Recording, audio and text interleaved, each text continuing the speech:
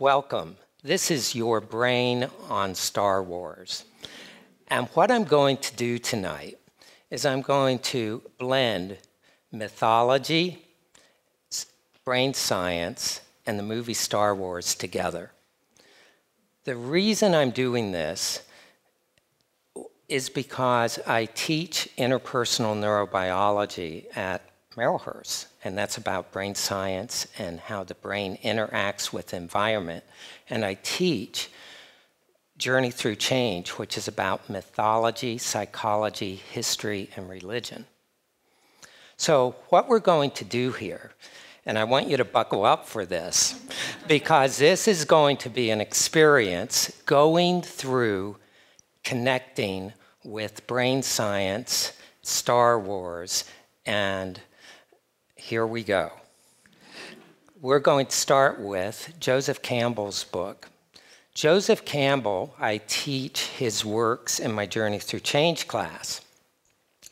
And Joseph Campbell is a great mythologist. What many people do not know is his book inspired George Lucas on the third draft of Star Wars The New Hope to reframe that entire story. The reason is, and the reason he was inspired, I think, is that Joseph Campbell did something really amazing, and this was done in 1948.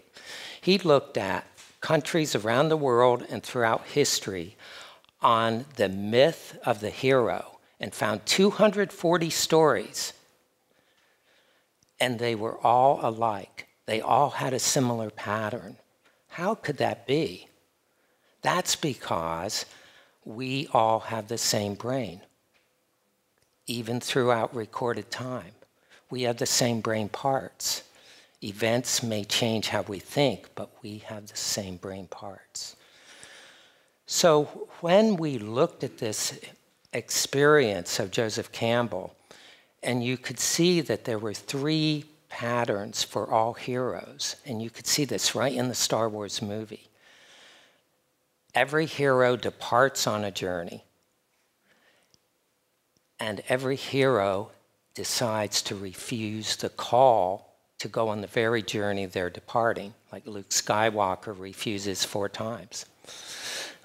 Rey in The Force Awakens refuses several times you have to deal with abandonment, you have to deal with loss. Then you also deal with finding your strengths, moving forward, dealing with the challenges, and then going home and teaching what you learn to other people. And then the journey starts again. Now, I'm going to contrast this with another pattern. This pattern is from brain science. And astronomy. You are looking at a brain cell, a neuron. That's electrical chemical arrangement. We have 100 trillion neuronal synapses in our brain. In the universe, and these look remarkably similar, isn't that fascinating? In the universe, we have 100 trillion stars, estimated by astronomers. So there is this force out there of electrical chemical energy, and there's this force in here. So what we're going to do is take a look at some of the aspects that go on when we experience a movie like Star Wars. First of all, its mirror neuron pathways get activated. The mirror neuron pathway is the pathway that allows you to experience what others feel. It's an empathy pathway, it's an imitation pathway. So when General Leia cries, you feel sad. If Han Solo gets irritable, you feel that because that's happened to you. It may have happened just this very day. If you hear John Williams and the Darth Vader theme, you know danger is coming. Now, what embeds this in your memory? It's a tr- neurotransmitter believed to embed this named dopamine. And that is a learning neurotransmitter, a focusing neurotransmitter, and a pleasure neurotransmitter. So when we go to the movies, we remember and Star Wars who we were with, what the line was like, what the theater did when the Death Star blew up in the first movie. There was cheering. If you were in Iowa in a drive in, they honked their horns. Dopamine helps us embed the storytelling. Now, the last piece is very fascinating. It's interpersonal neuronal linking.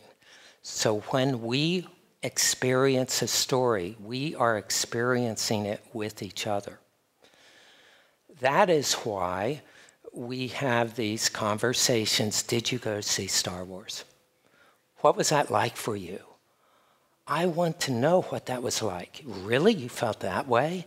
We are linking through stories. Now, a, a fascinating experience about linkage is that people link in so many different ways. Here is an example of neuronal linking. This is my niece Kate and her partner Brendan from Columbus, Ohio. The, Kate considers their relationship a relationship of love based on Star Wars. Kate is Chewbacca, Brendan is Han Solo, and she says, We are a lot like the characters. We bicker a little, but love each other a lot.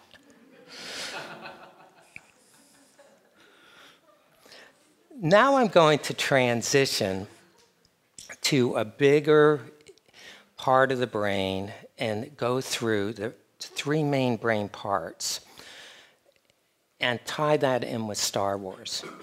So the first part is the brain stem, and that is at the base of your head. That's called the reptilian brain. You share this with sharks, with frogs, with alligators. Now, the brain stem is primarily there as a survival stem getting information uh, from the body to detect fear. That's very important.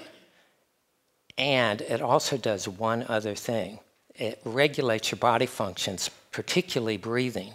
So if you remember Darth Vader, he does not breathe naturally. He breathes through the machine. He literally uses, loses his humanity. Then the second part of the brain to form in mammals and also in us is our strong emotional brain that allows for attachment and it allows for us to experience all sorts of emotions. But again, it primarily is there to detect fear because the, our body is set up for survival. The last part of the brain to form, and humans have the biggest part of this of all mammals, is that the prefrontal cortex, which gives instructions. It's like a manager of tools and skills on what to do. So I'm going to illustrate this with the brain in the palm of your hand model. Uh, and we're going to do this together. We're going to first be the Darth Vader brain. And this was this model I've adapted from Dan Siegel, MD, who wrote The Developing Mind. And he also co wrote this book, Parenting from the Inside Out, with Mary Hartzell. So here we go Darth Vader brain. Just put your brain in the palm of your hand. This is your brain stem. You are detecting fear. You cannot breathe through your body, you are breathing through a machine. Your limbic area is here, where your thumb is, and the amygdala is right in the center. and you are focused on fear. Once again, you sense a disturbance in the force. It has to be eliminated. The prefrontal cortex is completely overrun by your emotions, your aggression, your response to fear, and it doesn't. you, it only reasons with its emotion. It doesn't use logic. So you flip your lid. You wipe out a village. Now, let's do the Jedi. You have the same parts here as Darth Vader. You have the brainstem with fear. You have the limbic area with your emotional center, also primarily detecting fear. But it also allows for relationships. And one of the key things it does is in the limbic area is all the main heroes of Star Wars process and talk about their losses. But on the dark side, if you have losses, you brush by them. You don't process them. If you don't process loss, fear increases. So, when you have the prefrontal cortex, top of knuckles, top of the fingernail, fingernails giving instructions to the limbic area, you are integrated. You don't flip your lid. There are three lessons I think that we can draw from Star Wars. One is fear needs to be managed. If it isn't managed, uh, life is chaotic and very destructive. We will either get very anxious or we will get very angry or violent or aggressive. So, one of the key elements in, in the Star Wars movie is focusing on a way to regulate that fear. And we see this with Yoda, and this is with belly breathing.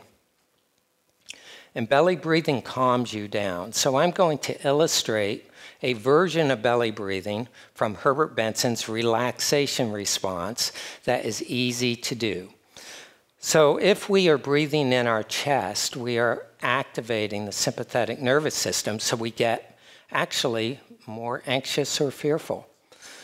And and what we have to do is learn how to calm down. So one of the things and this is a, uh, is to put your arms behind the back of your chair. You can do that right now. Put the arms behind the back of your chair. Now, let me just briefly explain what, what is happening to you right now as you're doing this. You may start uh, to yawn, you start to relax, and you increase your capacity in your lungs if you were chest breathing by 10 times just by doing this and getting air. In addition to that, your stomach holds 90% of your stored serotonin. That's Gershon, the stomach is a second brain. And serotonin is your natural calmness neurotransmitter. It goes through the bloodstream and you calm down. Lesson two this is Barley. Please say hello to Barley. Barley is my daughter's Paige's dog and her husband Ryan's dog. They are very proud owners. Barley is about 15 weeks here as Yoda. He's getting initiated to Star Wars at a very young age with his lightsaber. Now, as we know, if anyone had a puppy, puppies developmentally have difficulty emotionally regulating themselves. they get very excitable. And it's a big deal to say stay and stay. It takes patience, it takes practice.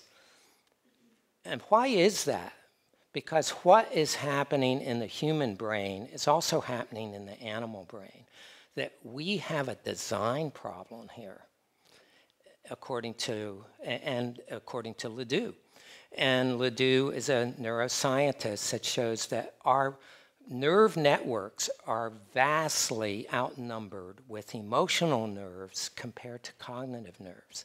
So much so, it's hard to find the cognitive nerve to send a message. So, one of the important pieces about emotional regulation that is catching on in our culture today and around the world is mindfulness. It's being aware of your thoughts and letting them pass through you. It, another strategy, which is so important, is the strategy surrounding thinking about how to solve a problem, not just reacting to the problem.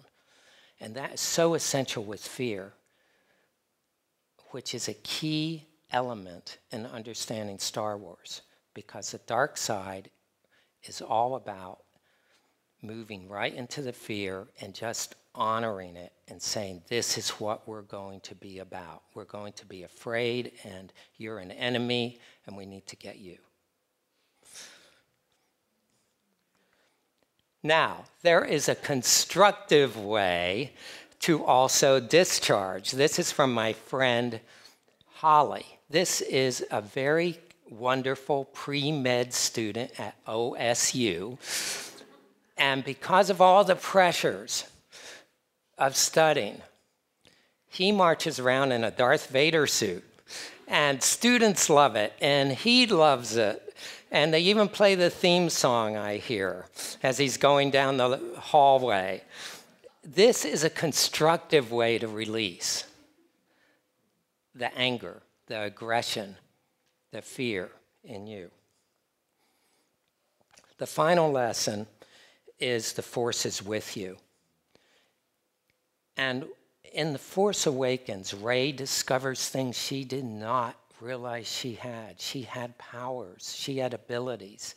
She only knew herself stuck on this planet, and all of a sudden she realized she had strengths. That is the power of this message. And this is the last slide looking at the Hubble telescope, and this is an actual creation of a star in the Milky Way, and they had labeled this The Force Awakens, December 17 of 2015.